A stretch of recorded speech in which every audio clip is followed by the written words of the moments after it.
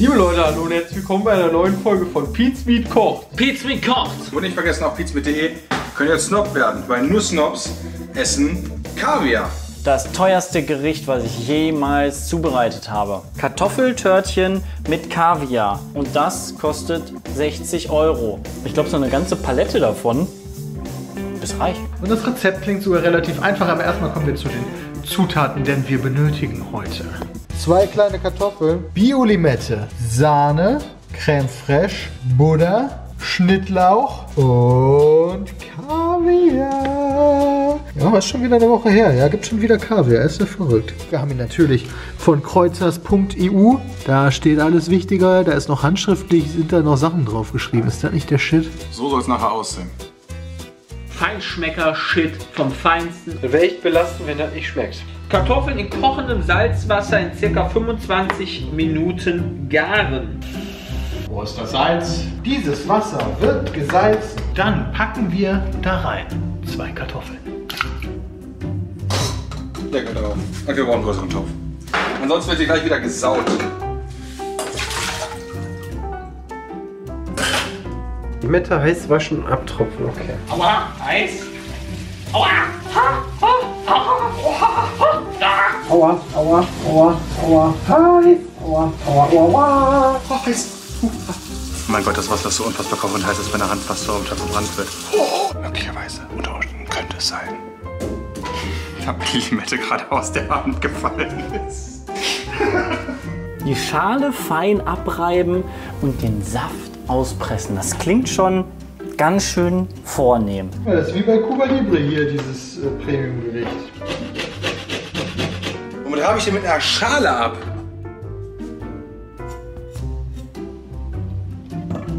No! Ja, Saft auspressen. Da brauche ich wieder mein äh, 30 Kilo Saftpresse. Und ihr habt natürlich richtigerweise gesagt, warum stellst du da kein Glas zwischen? Die Idee ist vielleicht gar nicht mal so falsch. What the fucking hell, Alter. Komm schon. So. Alter, das ist hier nix. Das ist ja die trockenste Limette der Welt.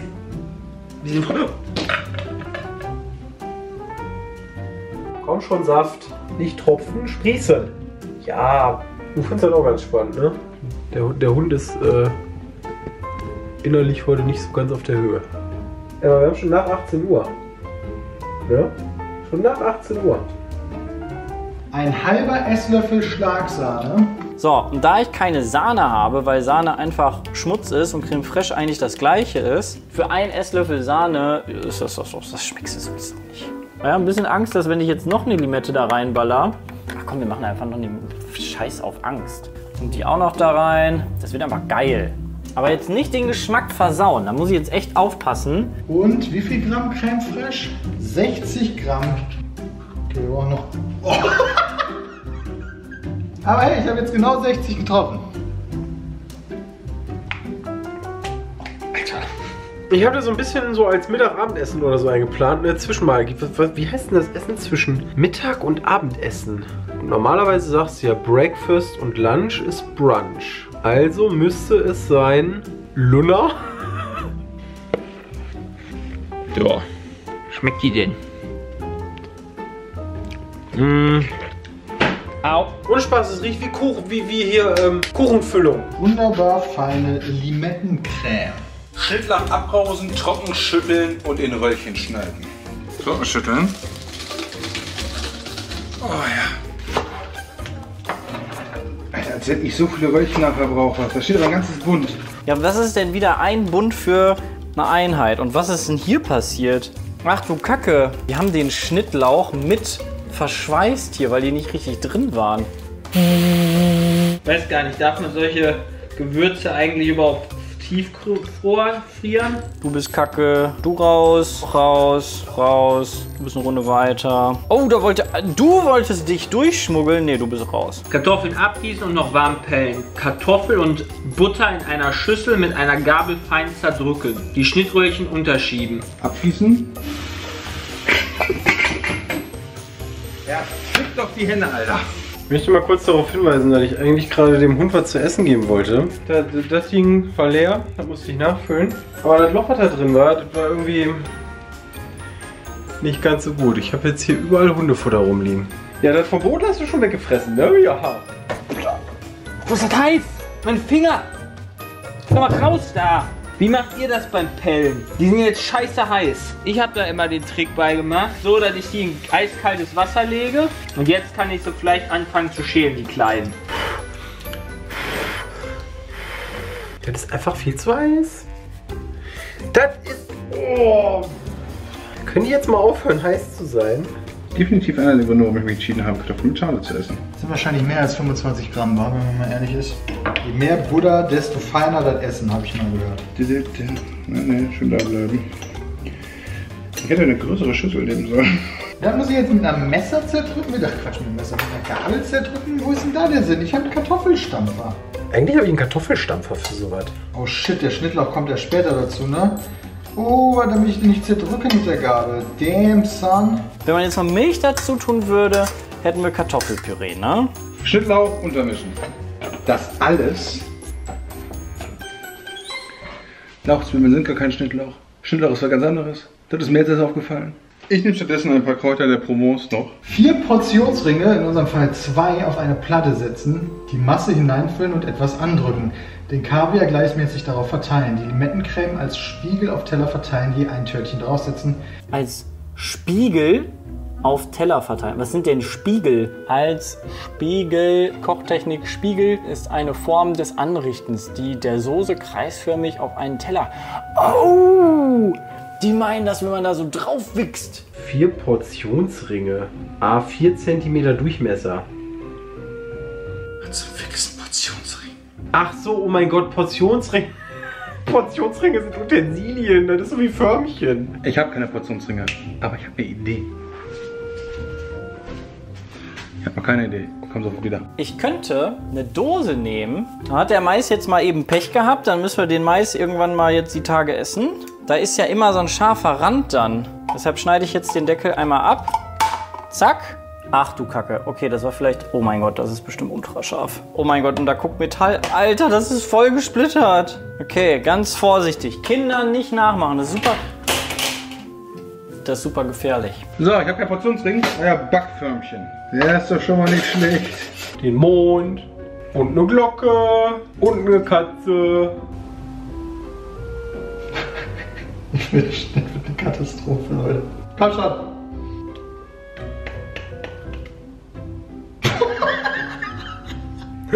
Ja, warte mal, kann ich das nicht viel besser? Ja, guck mal.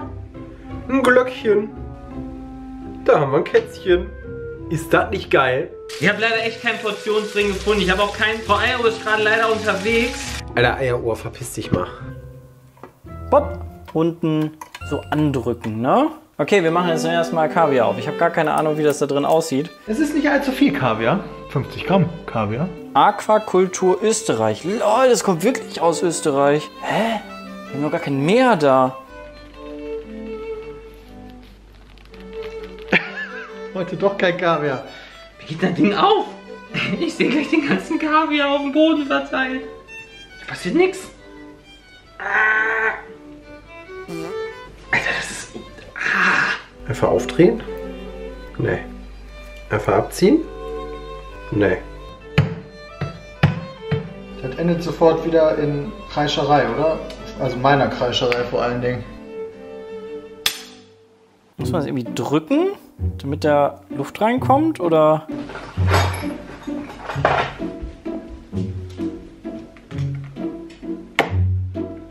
Komm hier nicht rein. Ich habe keinen Schlitzschraubenzieher, verfickte Scheiße. Ich werde jetzt nicht ein Messer nehmen. Kaviardose öffnen. Ein Metalldosenöffner wurde speziell entwickelt, um das Öffnen ihrer vakuumversiegelten Kaviardosen zu erleichtern. Ja, aber sowas habe ich nicht. Ich muss drehen? Gott, wie geht's auf? Ja, da kommt die ganze Zeit dieser klebrige Saft raus, weil ich da- dachte, da ist einfach. Fuck, jetzt kommt noch Rewe. Okay, während ich beim Rewe-Mann war, hat meine Freundin einfach den Trick rausgefunden und es ist aufgemacht. Und es ist kein Drehverschluss, sondern es war halt einfach der Unterdruck und keine Ahnung. Löffel reinstecken und drehen mit sehr viel Gewalt, sodass sich das löst. Ja, lach mich ruhig aus. Dafür bin ich an die Tür gegangen, weil du Angst hast, in die Tür zu gehen. Wer ist hier der Mann im Haus? Oh, Alter, es ist offen. Leck mich am Arsch. Ja. Mmh. Da ist er. Das riecht ernsthaft, legit nach nichts. Wie schmeckst du? Ganz ehrlich, egal wie viel Geld ich in meinem Leben jemals verdienen werde, für so eine Scheiße will ich eigentlich keins ausgeben. Alter, das ist heiß. Das wird hart, das zu essen. Ich habe aber eine Idee. Ich nehme euch mal mit. Guckt mal, wen wir hier haben. Die Krebse sind wieder da. Guck mal da. Da sitzt auch einer direkt. Hallo Frank. Habe euch was Leckeres mitgebracht.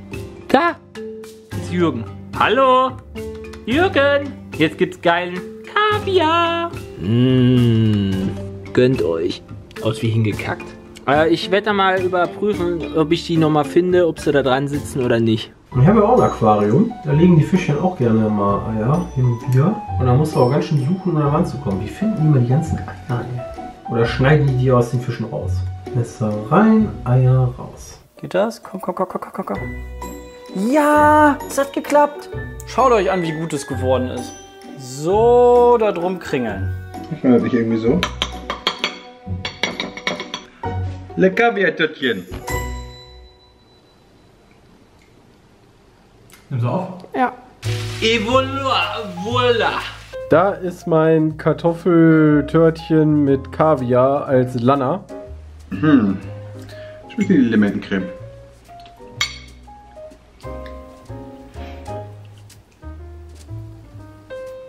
Salzig und schleimig. Hätte ich die direkt aus dem Kühlschrank nehmen sollen? Die lagen jetzt bestimmt eine halbe Stunde da so warm, aber ist nicht schlimm, oder? Bestimmt nicht. Bestimmt nicht. Ich schmecke den Kaviar nicht. Wofür gibst du denn da 60 Euro aus, damit der nicht schmeckt? Man schmeckt zu wenig von dem Kaviar. Doch, uh. Jetzt. Schmeckt den Kaviar nicht. Probieren wir mal einfach nur Kaviar. Ja doch, ist leicht salzig, aber wirklich nur ganz leicht. Hat irgendwie so einen nussigen Geschmack oder sowas. Ölig? Nee, ölig. Genau, so wie Nussöl. Also du schmeckst nicht mal die Kügel, also merkst nicht mal die Kügelchen. Das ist sehr erfrischend, mit dem Schnittlauch auch. Aber den Kaviar, den brauche ich dann nicht unbedingt zu. Oh, Frau Ergo ist gerade zurückgekommen. Willst du probieren? Ich bin gerade am Probieren.